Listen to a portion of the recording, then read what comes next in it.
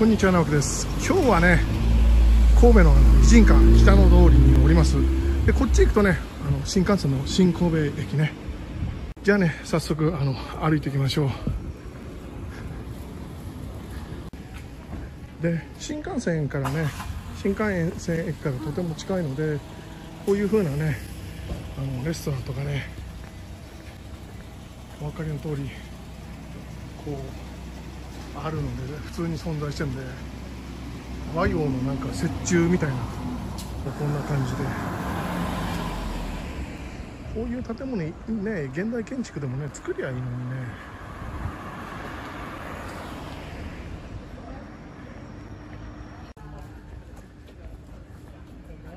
えー皆さん私と同じようにこういうふうにあの携帯を持って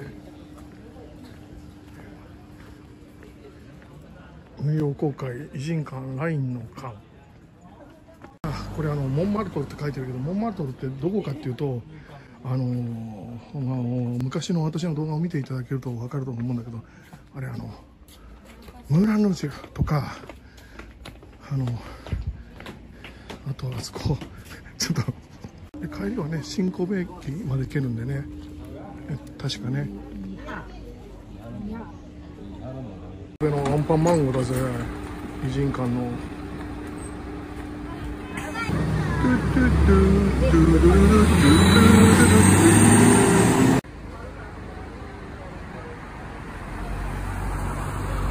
ねでトリックアート館があるんで。時間があって楽しみたい人は。どうぞ。まだまだ続くよこんな綺麗な。街並みがなどと言いながらなどと言いながら右へ曲がって違う方の偉人館の方に。これ坂なんだよな確か。ほら何がほらあのあのお尻がもうマジで私は来てるわけ。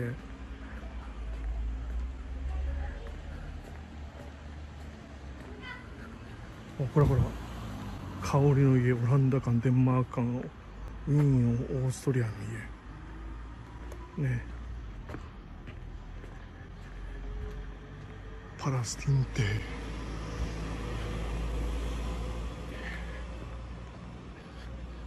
ちょっと分かりやすいところからほら。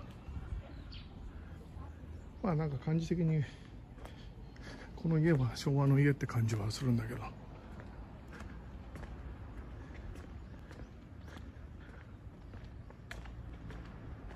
お尻がとんでもないことになってきたぞ。なんかゴブリンみたいのがいてね。小さなアトリエって小さなアトリエ。ここら辺に住んでる人はもう多分体力むっちゃくちゃある人なんだろうな。旧レイン邸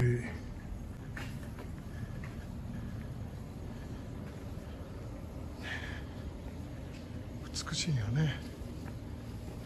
なんかあの不思議な建物みたいな感じであれ？あのなんていうの？支柱がない建物がね不思議みたいなのもあったりするけど。はい。住み町の天満神社がねあってね。ビーフカレーも持ってて。旧トーマス邸でね風見鶏の風見鶏の後ろに後ろじゃね 後ろじゃね上にあるからだね。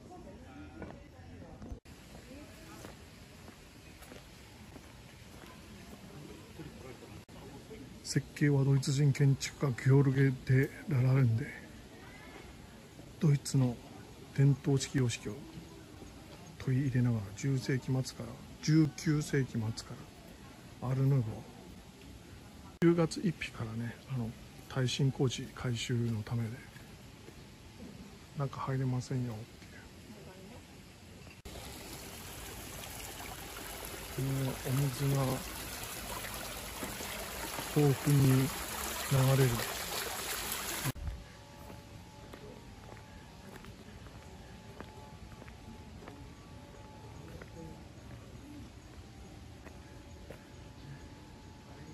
ここはこはあの入場有料なのでね。あの余裕があったらお金と時間に余裕があったら行ってみてください。逆から見たあの風見鶏だねあの語りっぱな風見鶏そしたらこの北野天満神社とあのドイツの風見鶏の建物のところをさっきこっちから来たねこっちに行きます。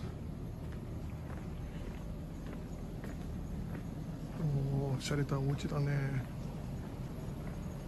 瓦のなんか作りもこの家もなんか結構しゃれたお家だね。ここはなんかハンターハンター迎賓館。だってあのオーストリア。はもうねそれっぽいけどただの民家だけどさあのさマジで陸上とかさ格闘技とかやったらなんかすごそうだな。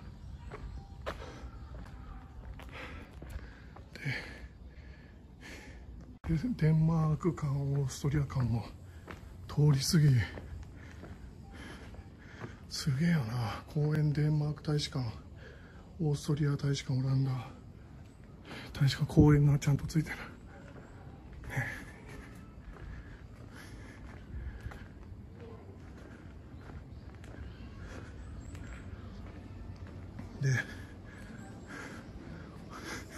ででねでねあのオーストリアオーストリアウィーンについてるの動画はね。昔多分動画にしてると思うんだが。はい。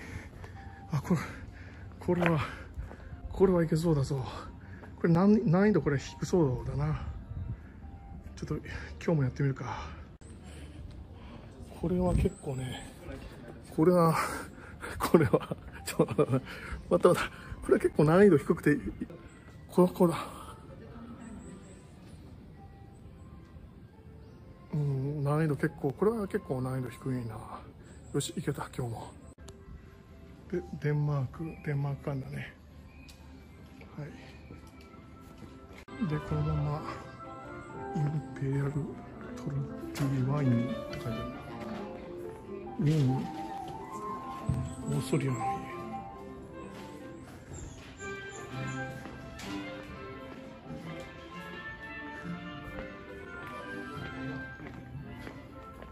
家時間のある方はねあのまあ各館入ってみてください。私はあの時間がちょっとあのないってわけじゃない。まあいつも暇なんだけどさ。実はさ私さあのまだアップロードはしてないんだけどさアメリカのね私があこれは理想的なあの町群だなっていう。あとねやっぱりこの神戸の偉人館みたいなのをモデルにして盛岡はねちょっと今はもう土地がなくはないけどさ郊外だったらすごい寒いところとかもあるからちょっとそれは人が住めるような場所ではないから花巻あたりにだからねあの一員館みたいな感じの日本風の街並みを都市建設みたいな感じで作ったらどうなのかな。うん。ちょっといろいろ考えちゃうね。何でおめえが考えんだよって話だけど。でなんかこういうの氷とかもてかね。であっちにはあのイタリア館っていうのがあるけど。それはちょっと私は行かないで行きますね。また時間があった時にねまた神戸来た時とか、うん、来る可能性があるんでね。その時は有給でも取ってねまあゆっくり歩ければなと思います。絶対ここら辺に住んでる人格闘技やったらなんかすげえミドルキックとかあのローキックとか強そう。っていうかラグビーとかも強そう。マジで陸上とか。マジで。なんかバス停がすげえ混んでるな。だってこうなればあれだな私は今ここの列に並んでないから来たらワンパンマンのワンパンじゃないアンパンマンの歌を歌い歩こう。然ですねノマドワーカーさんにですね お会いさせていただきました。は声かけて、えー声かけさせていただきました。すみませんありがとうございます。というわけでねあのあれですよあの私の好きな動画を撮ってる動画配信者の YouTuber の方がいたんでねプライベートながらもちょっと私は好きな人の場合声かけさせてもらうけどあのどうでもいい人は声かけないんでバスで並ぶの私は嫌だからね。歩いて新神戸まで行くからね。いやでもよかったね。私の好きなあの YouTuber の人がいて。ね。